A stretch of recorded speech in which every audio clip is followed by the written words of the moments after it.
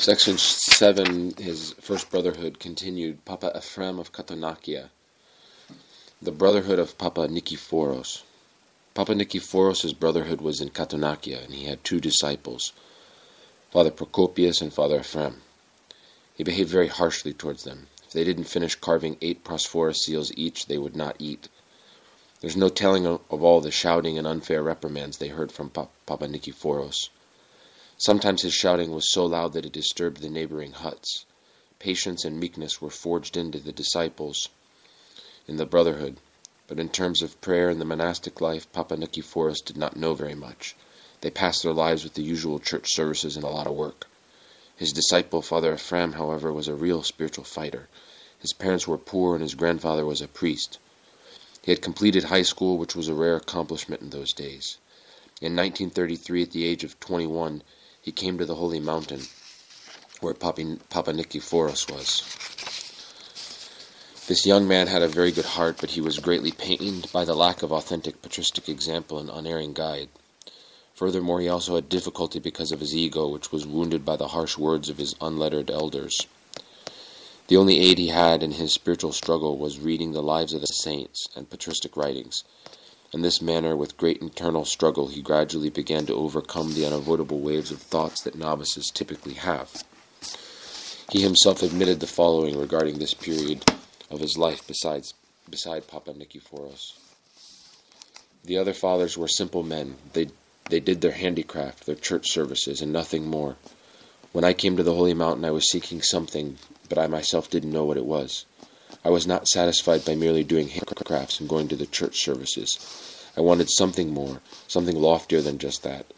Elder Nikephoros was good, but he couldn't lead me on the path that he himself had not traversed. Time passed, and Father Ephraim could find no one to teach him a few things about the spiritual life. This is why he would later say, It is easy to leave the world, but difficult, but to find a spiritual guide and elder is extremely difficult. Since he had no one to guide him spiritually, he improvised. No one had taught him about the Jesus prayer, so what did he come up with to pray constantly? He associated every hour of the day, in every room of their hut, with saying various prayers, Saints Troparia for the most part. In this way he tried to keep his nous constantly occupied with prayer and compunction. Thus, by the grace of God, he progressed in compunction so much that he was able to weep whenever he wanted and as much as he wanted. Because of his humble obedience to his harsh elder, and because of his constant tears, God allowed him to experience a lofty spiritual state during church services. One day, while Father Procopius was reading the Psalter and Father Ephraim was feeling compunction, he suddenly saw his nous leave his body and go across the ravine where it summoned all of creation to glorify God. As soon as he came to himself, he wondered, What was that? Whom can I ask? Acquaintance with Elder Joseph. Papa Nikephoros is only now, Papa Nikephoros only now and then would go up to St. Basil's Skete to serve the liturgy at the little hut of the teacher.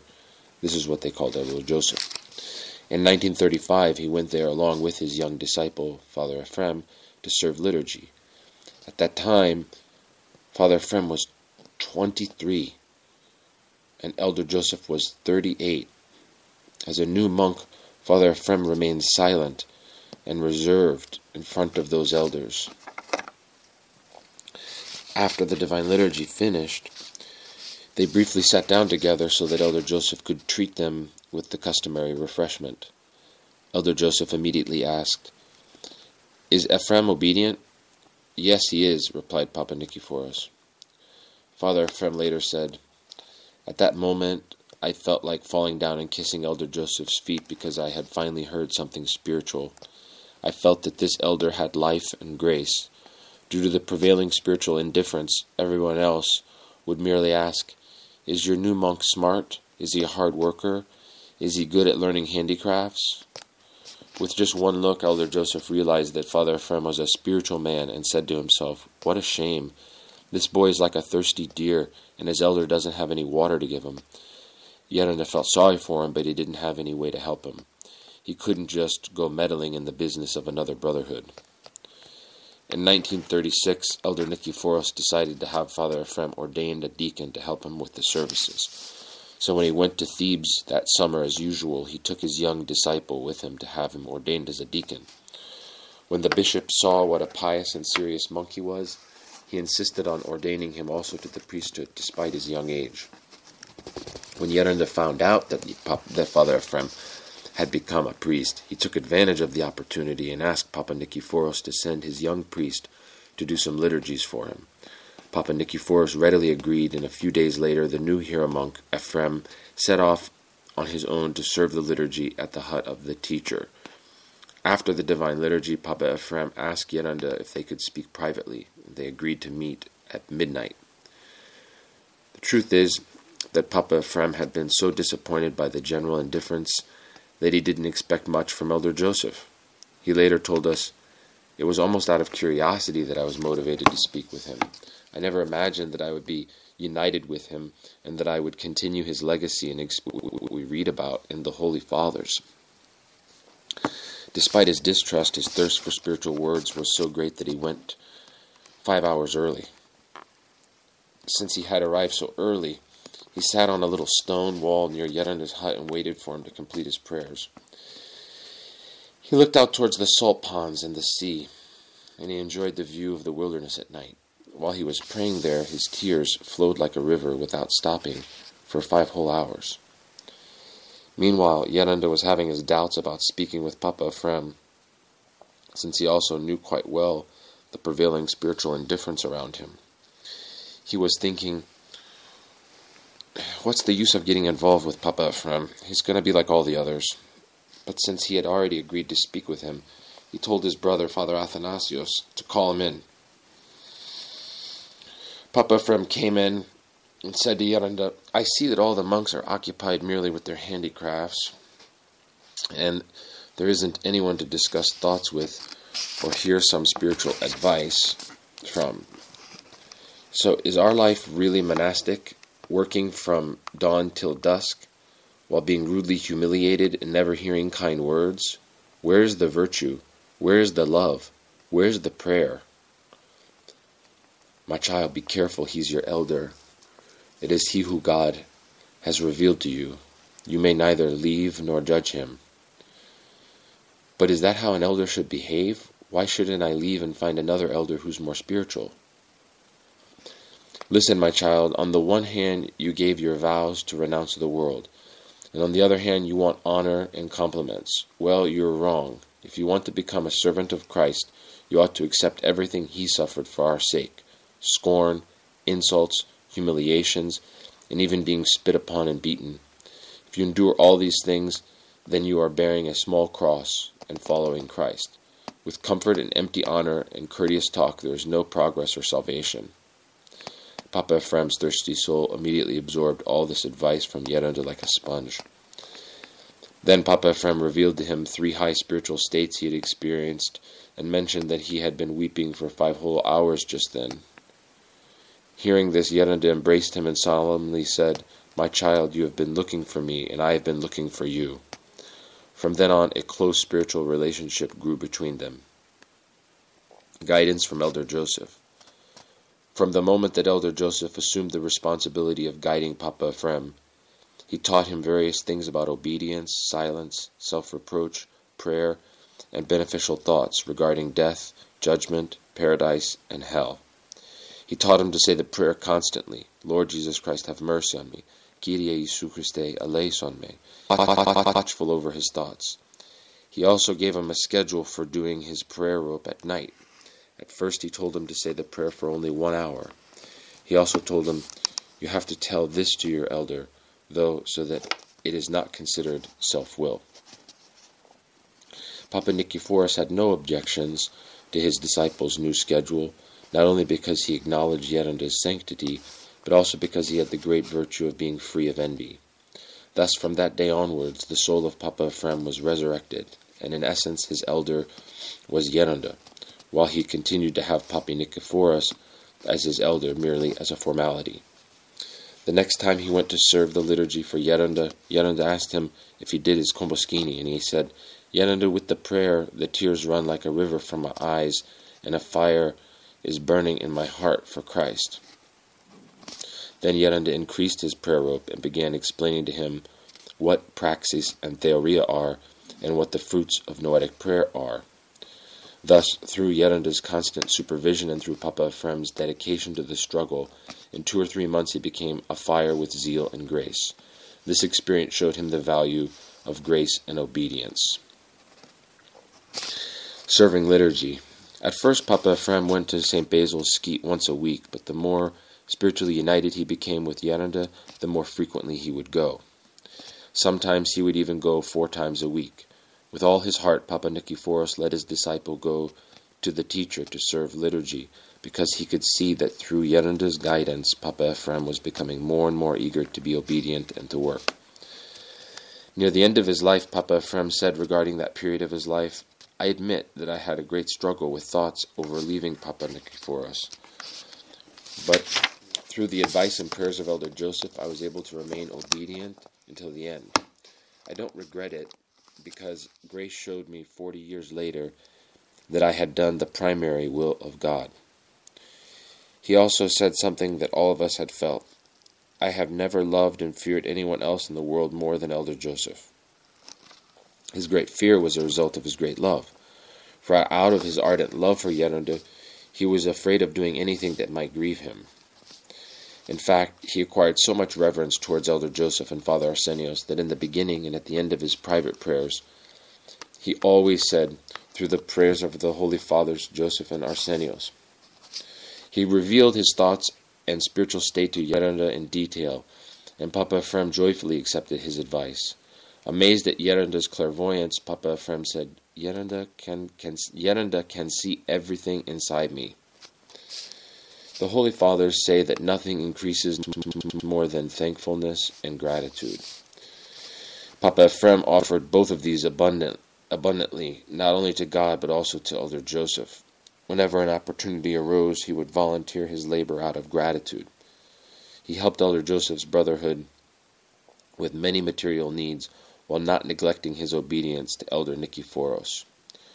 Once, when Papa Ephraim was very sick and in danger of getting tuberculosis, Elder Joseph went, kept him in his own hut, and cooked for him.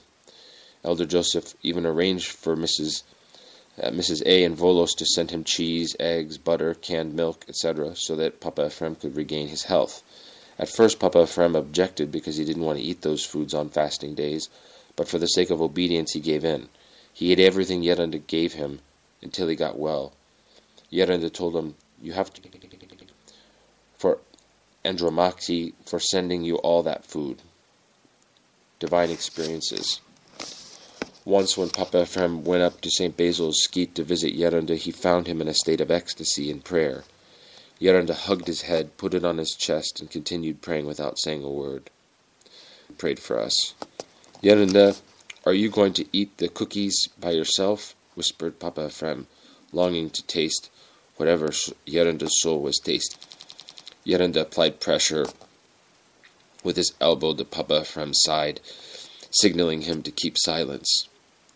After a while, Yeranda came. Green sigh said, "My child, you don't have, you don't have just a clean soul. You have a completely pure soul."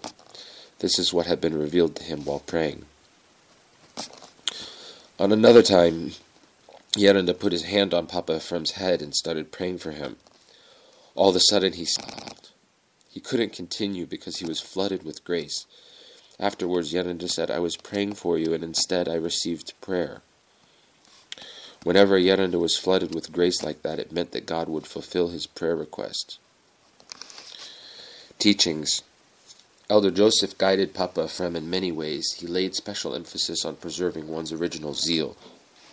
He said that if a monk does not manage to increase it, he must struggle by all means not to let it decrease. Elder Joseph also pointed out to him that losing zeal brings negligence, which crushes a monk. To avoid this pitfall, he advised him to read through the service of tonsure to the great schema from time to time. In this manner, he would be reminded of the vows he had given to God as well as his responsibilities. Above all, though, what benefited Papa Ephraim was the mere sight of holy elder Joseph and his example. Once Papa Ephraim had intense carnal warfare. He lay down to sleep, but the warfare was very strong. To resist the temptation, he began saying the prayer fervently. Soon afterwards, he fell asleep and saw the following vision. Across from him at the front door was a demon, exactly as the Holy Fathers described them, with horns, black wings, and a menacing laugh. However, the demon couldn't approach his cell or enter it. When he awoke, he went and told Yerunda about what he had seen. Do you see, my child? Yerunda told him that by saying the Jesus prayer you keep him at the gate and thus he can't come near you. Visitation of grace. Papa Ephraim, as a true disciple, would tell Yerunda all his thoughts and never hide anything from him. In this manner, he quickly acquired streams of tears. He said to Yerunda, I have a lot of tears. And Yerunda responded, Tears are good, they cleanse the soul. Now you are digging and opening a road so that the vehicle of grace, the God's grace, can come in. This is how you will find grace, through tears. Another way to find it is through noetic prayer, which is loftier than tears. If tears come during noetic prayer, forget about the tears and keep the prayer in your heart. Tears diminish noetic prayer. Noetic prayer makes men experience grace more than tears do. About six or seven months later, the following incident occurred as Papa Ephraim himself told it. One evening, after waking up, I washed my face and stood up to say the Jesus prayer with my prayer rope as usual. I was standing in front of my window that overlooks the sea. After finishing quite a few prayer ropes, all of a sudden I saw three luminous figures approaching me my cell filled with light and an indescribable fragrance. My spiritual senses informed me that the middle figure was Christ, accompanied by two angels. I fell down and my soul embraced Christ's feet. I felt an amazing joy and delight. I was in such a heavenly state that it cannot be described. As he continued this story, he began to weep. I remained in that state of bliss for quite a while before it gradually began to subside. Suddenly, myself filled with demons. They surrounded me. I was terrified. I was petrified out of fear. I felt them beside me, and I shuddered with an indescribable fear. As I prayed, they gradually withdrew. While still trembling out of fear, I took my oil lantern and went to Elder Joseph. When I arrived, I said to Father Athanasios, Inform Yerunda that I need to meet with him at once. Yerunda received me immediately, even though it was at an inappropriate time. As soon as I sat down, he asked me, What's wrong? Wait a minute, Yerunda, so that I can come to myself and tell you. Due to the fear, I could barely speak. When I recovered, I related to him the incident with the three figures and the demonic presence afterwards. Then Elder Joseph stood up, embraced me, and said to me, full of joy, This, my child, is the first step. This is grace. Do you remember that I was telling you that through tears you are, in a sense, digging so that God, that God's grace, the grace's vehicle could pass? Well, now it has passed. From now on you will have revelations from God. He will inform you of things, and you will see differently. God's grace will manifest itself in images and shapes to help you. New horizons, different spiritual garments, different spiritual food, and a different prayer await you. The demons came afterwards because they realized the state of grace you had and were envious. Later, Papa Ephraim said, the progress I made under Elder Joseph was due solely to his prayers and his guidance. He would tell you, This is how you should pray, this is how you should say the words. When you encounter difficulty, don't repeat the prayer in its entirety, only repeat half of it. He teaches you how to say the prayer, how to live, how to pray. When you are tired and lose heart in the struggle to say the prayer, and you want to give it up, he comforts and strengthens you. He puts you back on track, so to speak. When Elder Joseph said, The more faith you have in me, the more spiritual progress you will have, it was as if he were saying, I have a spiritual treasure. Do you want some? Take as much as you want. From strength to strength. Soon after this, Papa Ephraim began experiencing lofty spiritual states. He received abundant grace from God, who kept raising him to higher levels that only people with experience can understand. All of this was because of the unerring teachings and prayers of Elder Joseph, who said to him, My child, the way you were progressing before we met, you would have found grace on your own, but you would not have been able to keep it. You found grace through tears, so continue with tears. But you are running quickly, and I'm afraid for you. Other people have spent a lifetime in asceticism and haven't experienced these states, whereas you have been granted them by God so soon.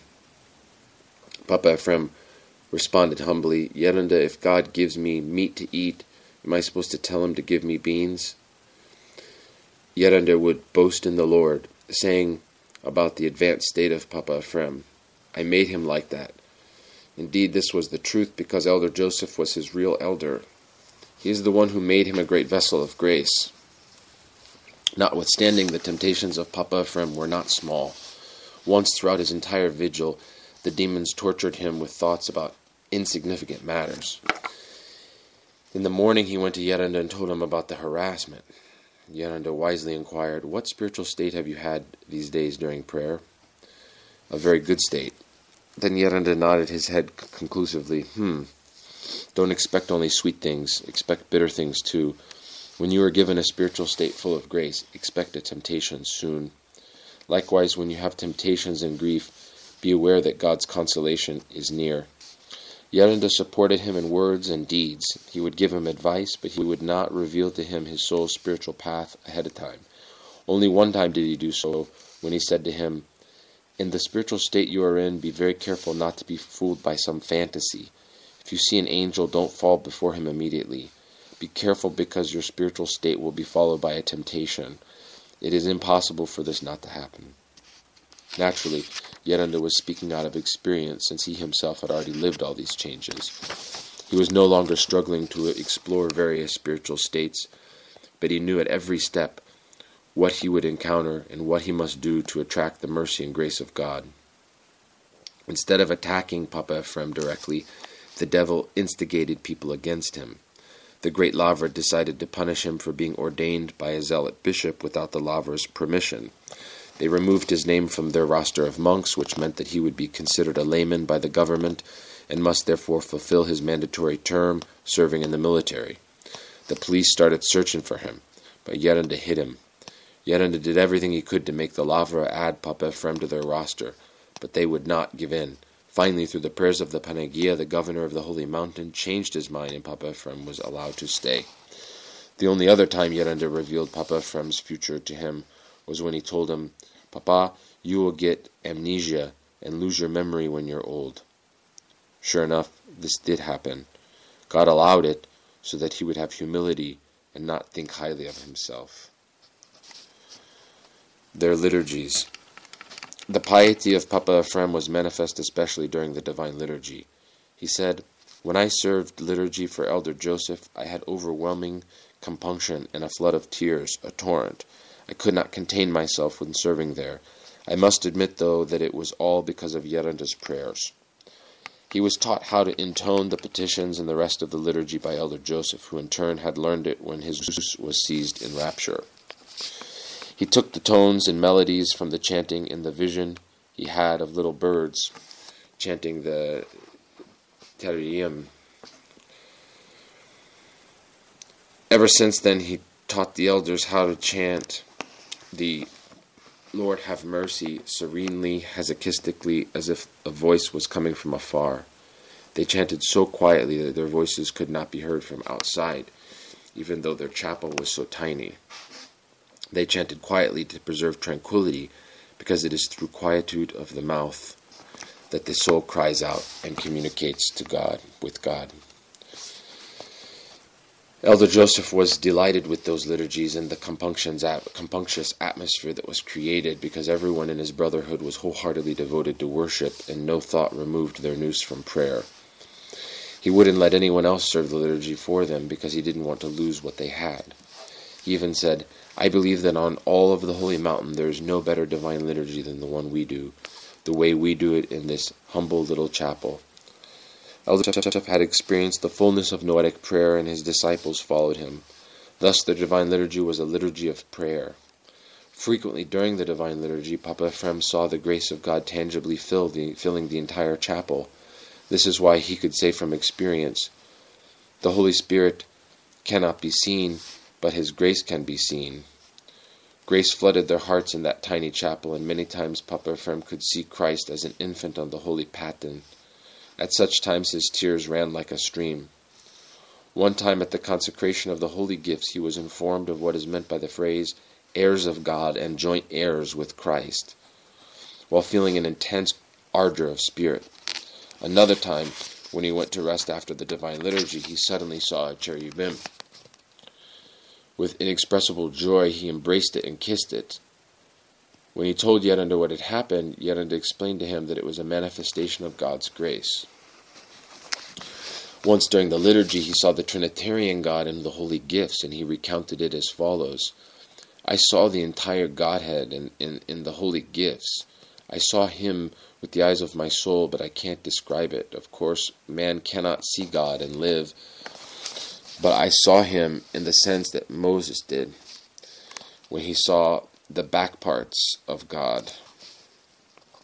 At that moment, I find myself in a state of in ineffable bliss, peace, love, divine eros, and tears. The living God was in the holy chalice. So that how can you dare approach the holy chalice? After such incidents, Yeranda would humble him by sweetly saying, You are traveling very fast, my dear priest. When Papa Ephrem served the liturgy and said, Peace be unto all, he had the thought, who am I to pray for peace to come from come to Elder Joseph? This thought concerned him for a while until one day he heard a voice coming from the stall. You are not the one saying it, I am saying it. He then realized that it is the Holy Spirit who is blessing through the priest. After so many heavenly events, it is no wonder that the abandoned chapel of Elder Joseph in the wilderness, where Papa Ephrem served the liturgy for so many years, is still fragrant. Whenever Papa Ephrem found himself in lofty states of prayer and couldn't restrain himself, Yeranda would tell him, Whether you have joy or sorrow, do not let it show. You might be inebriated in paradise or engulfed in hell, but you must not reveal it. This is best, so that others will not know what state you're in. Later, Papa Ephrem admitted with self reproach, I had difficulty doing this. Yeranda, however, had mastered the skill of self restraint even though he had always had intense compunction during those services in the chapel. Only twice in his life did it overwhelm him so powerfully that he could not chant the Cherubic hymn. Judging the elder. St. John of the Ladder advises that before we bend our neck to the yoke of obedience, we should carefully examine whether the elder is capable of leading us to salvation. After submitting ourselves to obedience, however, we should never judge our elder even when we happen to notice some shortcomings. Otherwise, he concludes, we shall not benefit from obedience. The following story, told by Papa Ephrem, shows how dangerous judging one's elder is. One day, I had a judge, judgmental thought against Yeranda. When I tried to pray that evening, it was as if there was a wall in front of me. I couldn't get anywhere with the prayer. I tried saying, Lord Jesus, Lord Jesus, and I couldn't. I said to myself, I must have done something wrong. I must have committed some sin. So I started thinking, yesterday, where did I go? What did I say? What did I do? Then I found it. I had judged my elder. The following day was Sunday, and I had to serve the liturgy. Now what do I do? I asked myself. Pray. God, forgive me for judging my elder. I made a mistake, and I'm asking forgiveness. Nothing. No improvement in my prayer. All right, isn't there forgiveness for me? Can't I say Eulogison, since I grieved you? Eulogison. Nothing. I continued asking the Lord, Didn't you forgive Peter after he denied you three times? I didn't deny you, I just judged my elder. Well, now I am making a prostration to you. I have repented for judging him, and I am seeking forgiveness. Still, nothing. I tried holding my komboskini, but I still couldn't pray. So then I began to weep. The tears flowed like a river. My God, my God, can't I say Eulogison? You are the God of mercy and compassion. Why don't you forgive me? You even forgave St. Mary of Egypt when she repented. You forgave many sinners, including the new martyrs who had previously become Turks. You forgave them and had mercy on them. Isn't there any mercy for me? Isn't there any forgiveness? Well, three hours passed like that. I did the entire Sunday service with tears. Finally, I felt a certain peace, a particular sweetness, a kind of joy within myself. Then the prayer began. to be said, Lord Jesus Christ, have mercy on me. Ah, all right, I said to myself, and thus I was able to proceed to serve the liturgy. Judging your elder is not the same thing as judging some stranger. Woe unto you! It is something like judging God Himself. Commemorating names. One day after liturgy, Papa Ephraim saw in his sleep some poor, ragged, wounded people before him, and they said to him, Father, you forgot us. When he woke up, he realized that he must not have commemorated all the names. He then asked Yeranda, Do you have any other names? No, I don't, Yeranda replied. They're all in the altar. Papa Ephraim searched and searched, couldn't find any extra slips of paper with names on them. After his next liturgy, again he had the same dream with poor people telling him, Father, you forgot us. After waking up, he said, Fathers, are you sure you don't have any names somewhere else? I'm sure, Papa. Check the altar table. Papa Ephraim searched some more and finally found a slip of paper with names underneath the edge of the altar cover. In his next liturgy, he commemorated those names, and those people never again appeared to him in his dreams. Strictness. The guidance of Elder Joseph was not at all honey, though. Not at all. He found flaws in Papa Ephraim to correct him in season and out of season, in order to keep him safe in the haven of humility. As the Apostle Paul says, preach the word, be ready in season and out of season, convince, rebuke, exhort with all long suffering and teaching. A spiritual father must do everything to benefit his spiritual children. In the beginning, Papa Ephraim did not particularly like the food Elder Joseph gave him. To avoid eating it, he decided on his own to gather walnuts and eat them instead. This action of his, however, did not escape Yeranda's notice. He waited for the right time, and then one day he abruptly remarked on it and bluntly said to him, Papa, don't come here to serve the liturgy again. As soon as Yeranda said this to him, Papa Ephraim lost his prayer. Along with it, is he lost his tears, his joy, his compunction. He lost everything. He fell into despair and despondency. The next day, he ran back to Yeranda, jumped over the fence, fell at Yeranda's feet with tears, saying, Forgive me, Evlogius, I won't do it again. True to his word, Papa Ephraim never did it again, and he became like a little lamb. Another time, Papa Ephraim mistakenly came late to serve liturgy. He asked forgiveness, but Yeranda was not placated. He seized the opportunity to train Papa Ephraim in humility. After reprimanding him harshly, he curtly sent him away, saying, Get out of here and don't come back until I call for you. Yeranda kept him away for three days, despite the fact that Papa Ephraim begged him for forgiveness with tears. And as expected, those three days passed with spiritual deadness, not a single movement of grace. Poor Papa Ephraim. He was getting sh- shouted at by Papa Nikephoros, shouted at by Elder Joseph, and deprived of the grace of God, but it was all for his own good. Finally, on the fourth day, Yeranda called him to come to serve the liturgy. During the divine liturgy, grace overshadowed him for the first time in days, and he rejoiced. When he told his when he told this to Yeranda, he replied with his sweet fatherly demeanor, "My child, couldn't you tell that in spirit I was embracing you?" Then Yeranda explained to him the exactitude required for spiritual progress from praxis to theoria.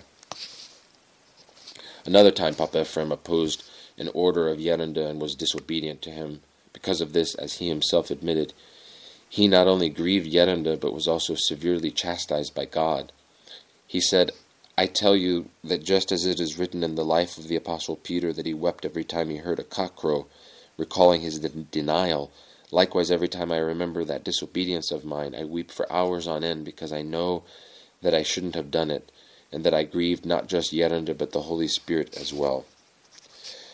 Through his obedience, Papa Ephraim reached such heights of virtue that Father Arsenios was astounded and said to Elder Joseph, My, my, we do such strict ascetics, but he just does obedience and surpasses us. Stubborn Papa Nikephoros. This may have been the case, but his obedience was no small feat. It was a sheer martyrdom because Papa Nikephoros treated him harshly for decades. One day Yeranda asked Papa Ephraim, When will you come to serve liturgy for us next? On the feast day of St. John Chrysostom. All right. A little while later, their neighbor Elder Gabriel asked Papa Ephraim if he could come and serve liturgy for him on the day of St. John Chrysostom. Papa Ephraim replied, All right, we can do that. After all, both Yeranda Nikephoros and I are priests, so one of us can serve here and the other can serve for Elder Joseph. When Papa Ephraim returned to his elder, Papa Nikephoros, he told him, Yeranda, forgive me, I am in a bind. I gave my word to Elder Gabriel that we would serve liturgy for him, but I had already told Elder Joseph that I would serve liturgy for him. Papa Nikephoros replied, When you give your word, give your word for yourself, not for your elder. You have to learn your place. I give my word for my spiritual child. A spiritual child doesn't give his word on behalf of his elder. Fine, Yeranda Vlogison, but now I'm in a bind. I don't know what got into me. Anyway, you can go to Elder Gabriel and I'll go to Elder Joseph. No, I'm not going. What's this you're saying? You're ordering me to go to Elder Gabriel? You have to realize your position and learn how to talk. Okay, I'm sorry. It's my mistake. I said no, I'm not going. Papa Ephraim said to himself, Now what'll I do? Well, since I go to Elder Joseph all the time, this time I might as well go to Elder Gabriel. So Papa Ephraim served liturgy for Elder Gabriel, but he admitted later, My conscience was bothering me so much that I felt as if I committed a crime against Elder Joseph. If you commit a sin against someone else, it's not as serious as committing a sin against your elder. If you disobey someone else, it's not so serious. But if you disobey your elder, it's serious. The next time Papa Ephraim went up to see Yeranda, he said to him, Welcome back, Papa. Why didn't you come for St. John Chrysostom? After Papa Ephraim explained the whole story, Yeranda said to him, You fell into a temptation, and Papa Nikifor should have helped you. He should have said to you, Listen, my child, you are a disciple. If I were to tell you to go to Elder Gabriel, you would have to go. If you tell me where to go, I don't have to go. Do you understand how things work? But since you've you've already given your word, I'll go to Elder Gabriel. You go serve liturgy for Elder Joseph. But don't ever do that again. Yet Yeranda, I was in a bind of Logison. Now what penance should I give you? Elder Joseph continued, Since God already gave you a penance through your conscience, I don't need to give you another penance. God has taught you how serious it is for a priest to break his promise, and even more so, a promise to his elder. Even though Yeranda forgave him, Papa Ephraim still suffered greatly from his conscience pricking him. Spiritual bond. The spiritual state of Elder Joseph was so lofty that Papa Ephraim drew a flood of grace from him because of their spiritual bond. As Papa Ephraim himself said, I remember those years. I experienced grace in torrents when Elder Joseph prayed for me. When I would kiss his hand as I was leaving, if he said wholeheartedly, Go, it was as if he were saying, Go and see. I would immediately abound in prayer and grace. On the contrary, if I had disappointed him in something, and if he abruptly said to me, Go now. Then I would have a spiritual drought and abandonment. This was verified when one day he said to me, Go, you won't have any grace until Saturday. Indeed, for a whole week my, my soul was frozen and dead. I was amazed to see how much power Yeranda's words have and how God ratifies them. The first thing that that all of Elder Joseph's disciples found out was that God truly ratified his salvific words. This is a mystery that, that negligent and inexperienced people are, are unable to explain. One thing that can be said for sure is that the more united you are with your elder, the more grace you receive. It is just like iron. The more it approaches the fire, the more it becomes like the fire, while the farther it withdraws, the darker it becomes. Here is another incident revealing their spiritual bond as related by Papa Ephraim. One day as I began praying, I felt my soul was in pain and that pain that the pain was coming from Yeranda. I said to myself, Yeranda is suffering. What could I do? Pray. So I prayed and prayed from midnight until dawn. At 9 a.m., my soul stopped hurting. I said to myself, Yeranda must be better now. The next time I saw Yeranda, I asked him, By the way, Yeranda, on such and such a day, how were you? Yeranda replied, My child, I was suffering because the Nasi did this and that. I was in great pain. How long did your pain last? Until 9 a.m., and then? Then I gave myself over to prayer and found consolation. God enlightened me to know about your suffering. That's why I prayed as hard as I could for you. But really, what could I do for Yerunda? I guess it was like the two mites of the widow in the Bible. Yerunda once told Papa Ephraim, If you are in a good spiritual state and go to a house, you can sense what kind of spirit dwells in that house. For example, if there is a spirit of prayer, a spirit of continence, a spirit of asceticism, or a spirit of lying, greed, theft, or witchcraft.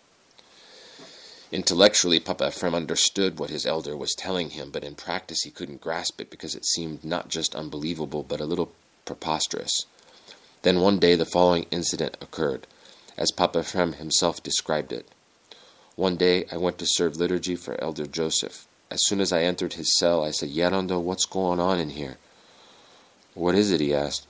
A spirit of silence prevails in here, as if telling me, Be quiet. A feeling immediately came over my soul, as if to inform me, in a sense, that there is silence in here. Let me explain, Yerando said. Now, during Great Lent, on Saturday, we have a liturgy. We receive communion, we eat, and Father Arsenios and I may talk with each other until Sunday evening.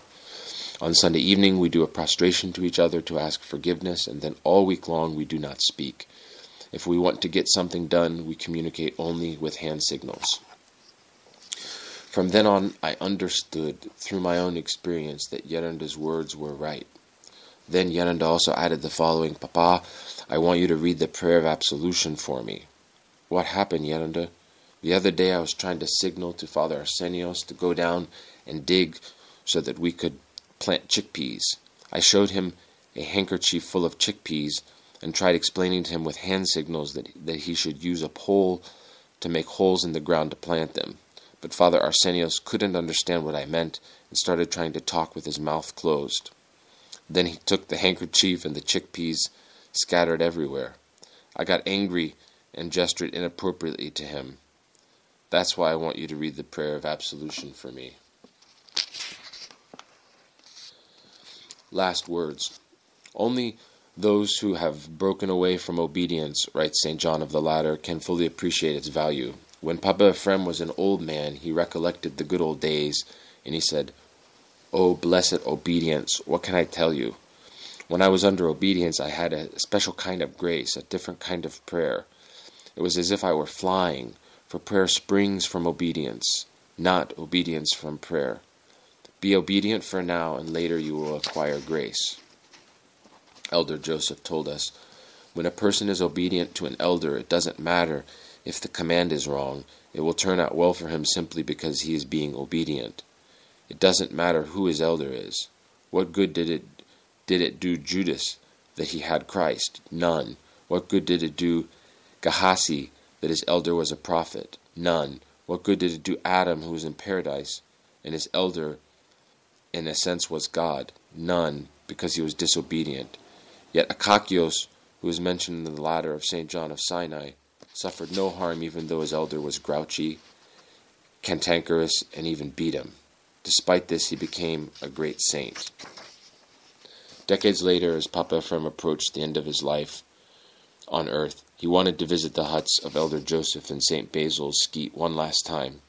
As soon as he approached the abandoned chapel of Yerenda's cell, he said to his companion with deep emotion and a stream of tears, May his memory be eternal. May his memory be eternal.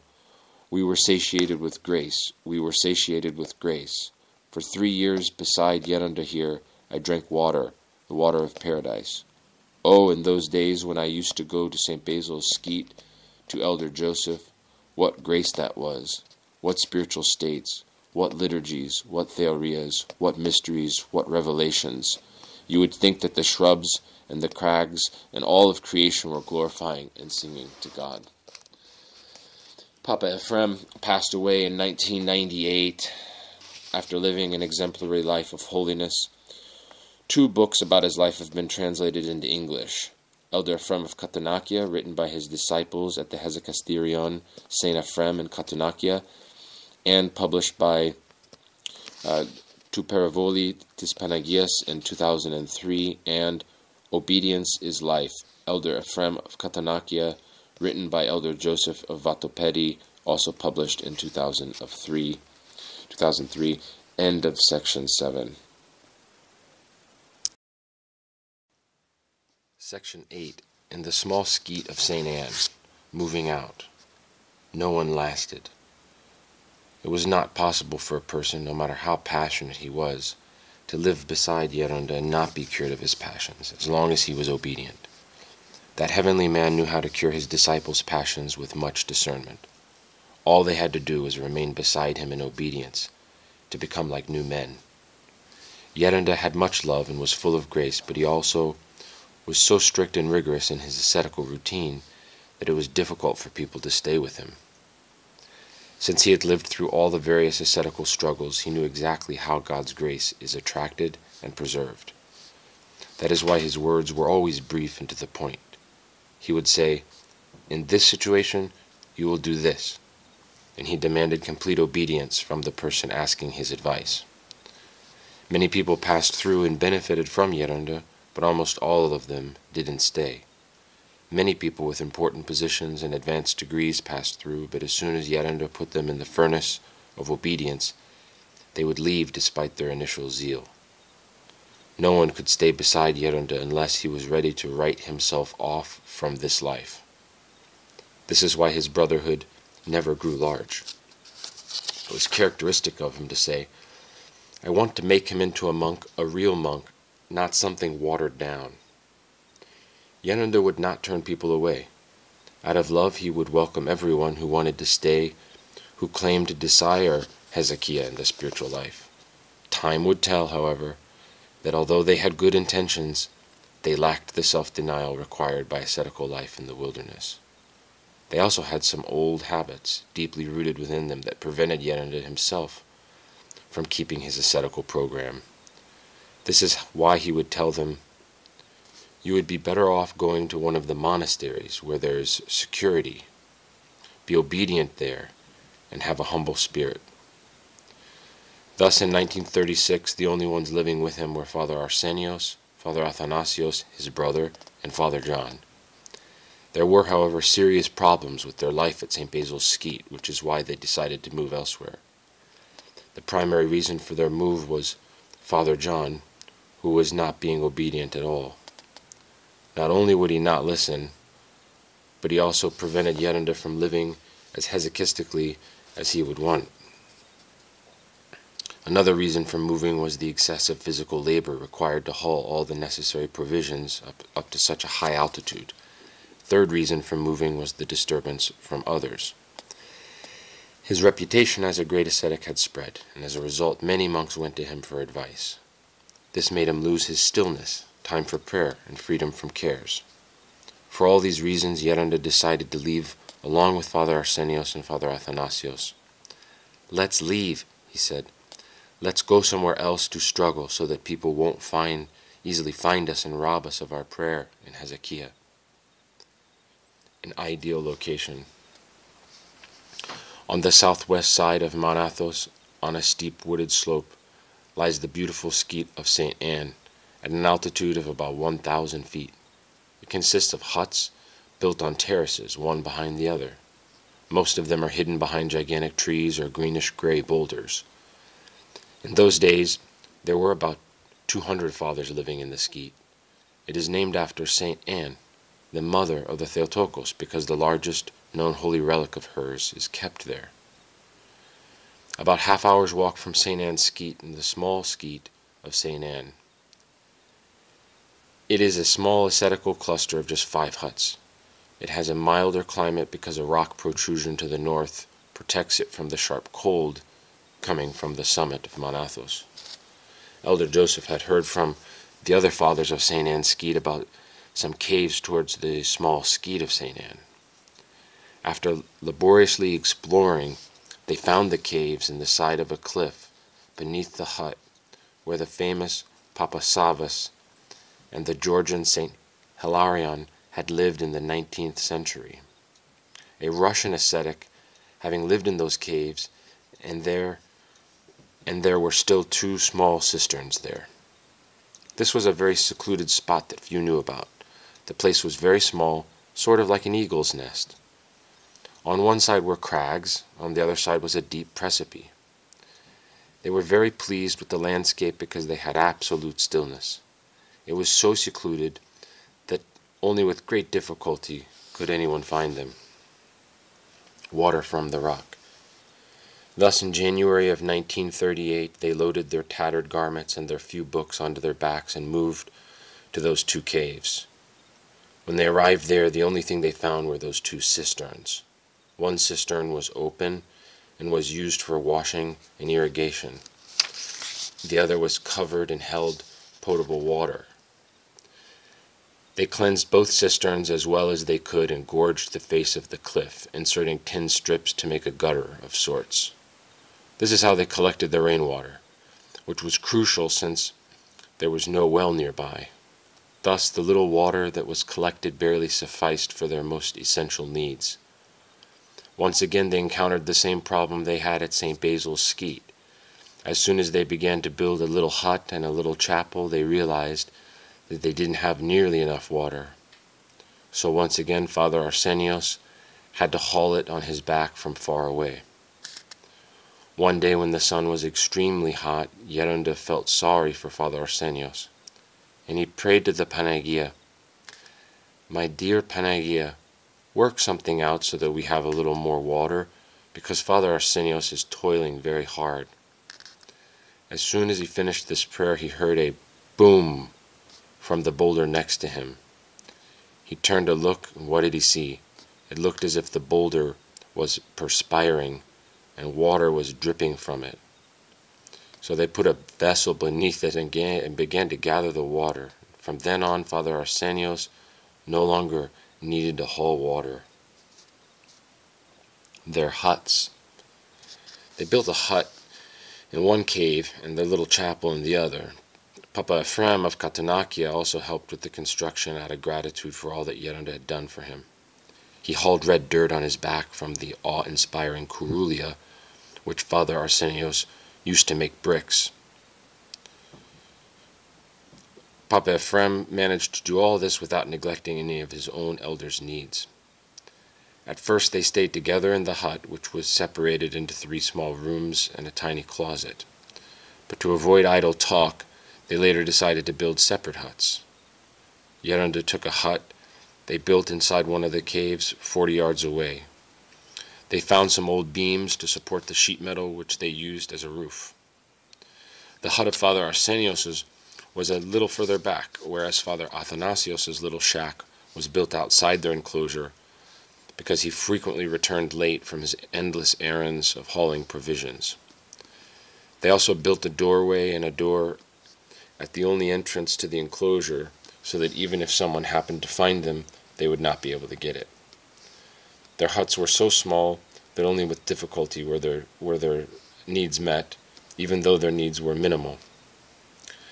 The cell dimensions were about 6 by 5 feet. Instead of a bed, they had two or three planks covered with some patchwork. They made a small opening in the wall which was used as both a door and a window. That is how they went in and out. For fresh air, they had two holes that were covered with rags instead of curtains. The floor of their cells was damp and moldy. The cells were so cold in the winter that if you stopped moving, you would freeze, whereas in the summer they suffered from the unbearable heat. The tin sheet above their heads broiled them. Even at night, it wasn't cool because the surrounding boulders would absorb the heat all day and then radiate it all night. It was like the Babylonian furnace heated sevenfold. How could anyone sleep in there, especially on that kind of hard bed? Their cells were real tombs. It was inside this hut, which smelled like a muddy tomb, that Yerunda sat and did his vigil every night, with noetic prayer for eight to ten hours. When he closed the door, it became pitch black and no fresh air came in. It was a sheer martyrdom. Their chapel was so small that you could almost reach the iconostasis while standing in your stall, but it was very compunctious. They dedicated it to St. John the Forerunner. The neighboring brotherhood of Father Daniel offered to paint the icons for it. Later, they also planted three little orange trees below the chapel. But there was no more room on that ledge of the cliff to plant anything else, no matter how much they needed it. Besides, had they planted anything else, the frequent rock slides would have destroyed anything outside the caves. At first, their life was truly harsh and uncomfortable, since they lacked even the most basic essentials.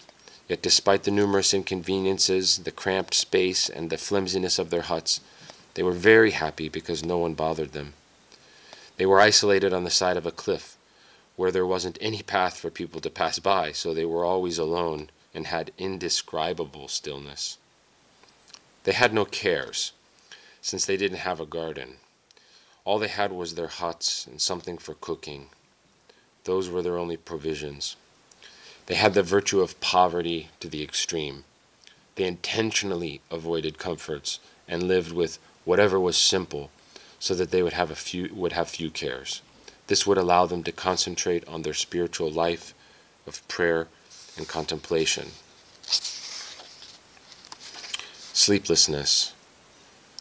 Elder Joseph's move to this rough place did not please the subterranean demons, who wanted those caves for themselves. They began to disturb Yeranda on a daily basis. Later he would tell his disciples, You came here and, and found everything ready. If, only, if you only knew what I went through in the beginning here from the demons. The priests in the world exorcise the demons and command them to go to deserted places, which is why they had all piled up here. If you only knew what I went through. What he was implying was that if his disciples had arrived back then, they would not have lasted.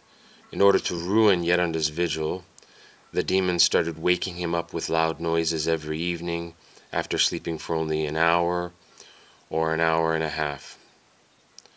Afterwards, demons would appear to him with grotesque faces, and he wouldn't be able to fall asleep again. This situation kept dragging on. Day by day, Yeranda began to grow more and more tired, since he couldn't sleep regularly and since he refused to omit doing his vigil. Furthermore, he was deprived of the special grace from prayer because the lack of sleep clouded his mind and prevented him from concentrating. Nevertheless, he would not give up easily. He said to himself, I will be patient with this situation for a month and if the problem has not been resolved by then, I will leave this place. Yeranda gradually started to feel the deprivation of grace. Many times he couldn't control himself and kept weeping and weeping inconsolably for days or even weeks. Because of this situation, he fell into great sorrow. He started to complain, in a sense, to God as if he had been treated unjustly. He was complaining because God kept allowing so many temptations to befall him without curbing them even a little, so that he couldn't even catch his breath. As he was praying with tears and pain in the darkness, he arose, raised his hands, and said, O Lord, will you even let them defeat man's volition? If so, then how will man fight? Then his little hut suddenly filled with light and he heard a very sweet voice say to him, Will you not endure everything for my love? Upon hearing those words, his sorrow immediately dispersed, as if a heavy dark cloud had left him. Right away he realized where that voice was from, and he fell down on his face and began to weep with much love, repenting for his despondency that had overcome him. Yes, my God, for your love I will be patient. Later he would say, I shall never forget that voice which was so sweet that the temptation and all my faint-heartedness immediately dispersed. From then on, Yeranda had great consolation in his sorrows and afflictions. He regained his spiritual strength, and thenceforth had greater fortitude in temptations. After patiently enduring the temptation of sleeplessness for thirty days, the battle finally ended, and the demons vanished. Their schedule. Their ascetical schedule at the small skete of St. Anne was as follows.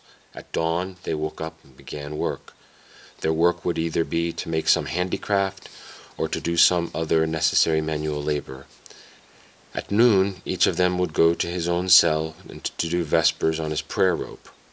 If there was extra time, they would also do some reading. Afterwards, they would all gather together for lunch. Next, they received Yeranda's blessing and retired to their cells to sleep for three hours until sunset. At sunset, they arose, drank some coffee, and began their vigil, which lasted until midnight. When they had a priest, they would begin the divine liturgy at midnight in their little chapel. When they had no priest, they continued their vigil in their cells either with reading or more prayer.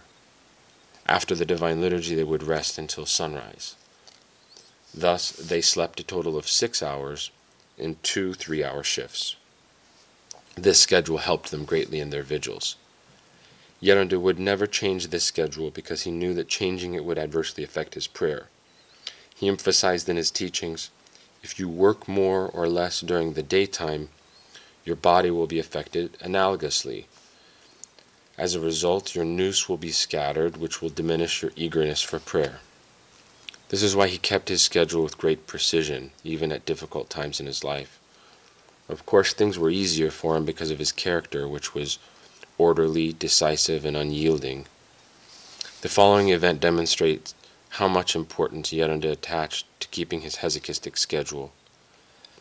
One day during the rest period, his disciples returned from afar loaded up with provisions and some fish. They said to him, Yeranda, we brought some fish and if we don't cook them now, they will spoil. There certainly weren't any refrigerators in St. Anne's Skete then. Bear in mind that fish was a rare treat for them, not simply because they were ascetics, but also because fish was expensive to buy and toilsome to catch. Without even discussing the matter, Yeranda replied, I would rather have the fish spoil than to spoil my schedule. Leave the fish as they are and go rest. The next day, he said to his disciples, I intentionally let the fish spoil so that for the rest of your lives you will remember the value of orderliness. He frequently emphasized, Be careful with our schedule. Father Arsenios and I shed our blood to present it ready for you. The joy of Hesychia. At the beginning of our monastic life, the fathers say we cultivate the virtues with toil and difficulty. But as we progress, then we work joyfully with de determination, desire, and a holy flame. Yeranda was very pleased with his new ascetic dwelling. He enthusiastically wrote to his sister, We here, my sister, don't sleep at all that night. Every night we have a vigil. We pray for the whole world all night. Only in the morning and midday do we rest a little after we eat. This is our rule. Half the day we work, the rest of the time we rest in silence and are content. Ascetical life, wilderness, angelic life, full of grace. If only you were here to see us. Oh, if only it were possible for you to see us. Here, my sister, is earthly paradise, and if from the beginning one lays hold of, the of the demanding, lofty life, lifestyle, he becomes a saint. At the beginning of their stay there, no one knew about them. However, in accordance with the Lord's words, a city that is set on a hill cannot be laid, but cannot be hid. The fragrance of Yeranda's virtuous life could not be hidden. Gradually, the neighborhooding fathers learned of his holiness, and several of them began to visit him for spiritual benefit. Unfortunately, however, some other people without interest in spiritual matters found him, and they simply wanted to pass their time with unprofitable discussions due to their idleness. He saw that he did not benefit from those acts of love, but only ruined his soul. That is when he decided to put a gate at the only entrance to their enclosure to keep visitors out and preserve his hesychastic schedule. He would keep the gate locked almost the entire day so that he would at least benefit from the prayer and hesychia, since right from the start of his monastic life this is how he had learned to live. In this manner he managed to be more rested for his vigil. He thought to himself, What benefit will I offer to my neighbor if I myself am darkened by other people's words? But when I remain in peace and illumined by the light of God, I will be able to transmit what I have to others, and in this way I will fulfill Christ's commandment of love. He took care not to waste the precious time of early evening. He saw that whenever he kept it with peace and the fear of God, he would have so much spiritual fruit that he would be amazed at the benefit of orderliness and freedom from cares.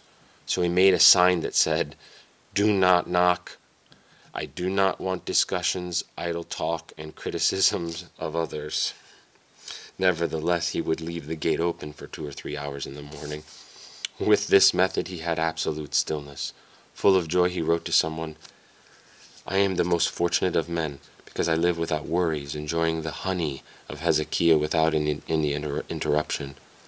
When grace withdraws, though, hesychia, like another grace, shelters me in its bosom, and the pains and sorrows of this evil and toilsome life seem even smaller. He even composed poems, such as the following one I found here a haven of stillness. Be healthy, my soul and my body. Swim, O my nous, in the sweetest tranquillity, and ask not at all what your neighbor is doing. Yeranda sought hesychia and seclusion as the means for achieving the acquisition of the Holy Spirit through prayer.